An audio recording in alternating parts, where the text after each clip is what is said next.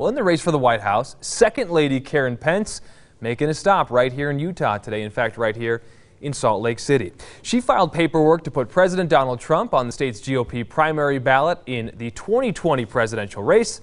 Political experts say all eyes are going to be on Utah during the election. ABC4's Brittany Johnson now live in studio to explain. That's right, Nick. The filing with the state for, of Utah for President Donald Trump is the first for a Republican primary candidate. Tonight, I spoke with the Hinckley Institute of Politics about the significance of Karen Pence doing this filing and why Utah is a key state in the 2020 presidential race.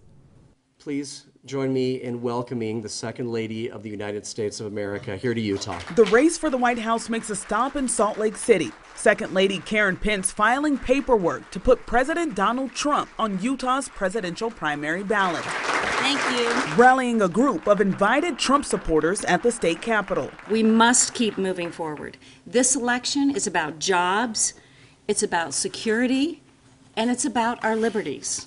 We are winning under President Trump's leadership, and to keep winning, we need four more years. Morgan Lyon Cotti, Associate Director, Hinckley Institute of Politics at the University of Utah, says the Pences will be in Utah leading up to the 2020 election, shoring up support for the president. Utahns like uh, that principled, conservative image that the Pences project. With Vice President Mike Pence and his wife Karen being more popular in Utah than the president himself. A crucial part of any election is turnout. You have to have a message that excites people and makes it so they want to come out and vote for you.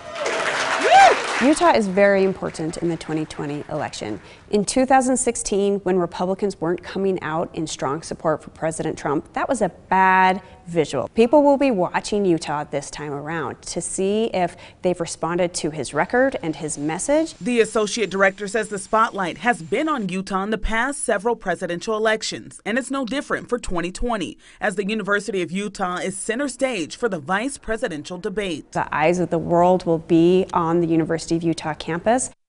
Senator Mike Lee also announced at the event he will serve as co-chairman of the president's reelection campaign in Utah. Nick, back to you.